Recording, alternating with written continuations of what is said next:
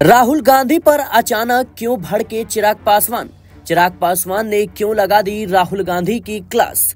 लोक जनशक्ति पार्टी रामविलास के राष्ट्रीय अध्यक्ष व केंद्रीय मंत्री चिराग पासवान ने लोकसभा में नेता प्रतिपक्ष राहुल गांधी द्वारा टेक्सास में दिए गए बयान पर प्रतिक्रिया ज़ाहिर की है। चिराग पासवान ने कहा कि राहुल गांधी निजी फ़ायदे के लिए राजनीति कर रही हैं। उन्होंने कहा कि जिस तरह से राहुल गांधी ने विदेश में जाकर भारत को बुरा भला कहने की आदत डाली है वह कहीं ना कहीं गलत राजनीति की परंपरा की शुरुआत कर रही है। पासवान ने कहा कि सत्ता पक्ष और विपक्ष में हमेशा से मतभेद रहे हैं, लेकिन अपने राजनीतिक मतभेदों को, अपने निजी राजनीतिक फ़ायदे के लिए विदेशी मंच पर जाकर अपने ही देश की बुराई करना ठीक नहीं।